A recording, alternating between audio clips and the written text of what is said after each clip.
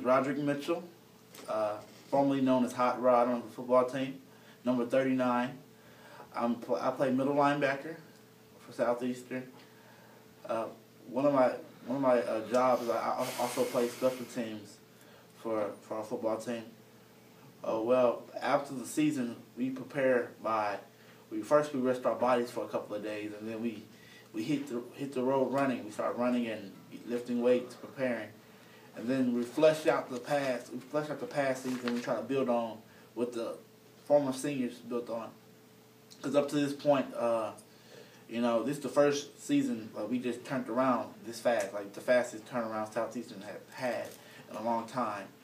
And now we're just trying to make our marks for other years to come by inspiring other freshmen that are coming in and other transfer students that, that are coming in to buy into the process and put all the put all put all they have into the game.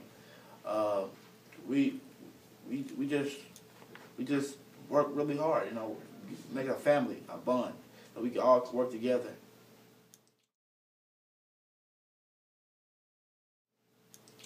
Uh, who, my dad put me in football as a young as a young child, because uh, at first my mom had me in choir, and he was like, I don't want my son to be all singing around in church and everything. So he put me in every contact sport, football, uh, wrestling, boxing, and football really stuck with me because it was a brotherhood, and you had friends, and it wasn't it wasn't a long sport. You you had a family bond, and uh, I had different coaches that pushed me to be a, a great player.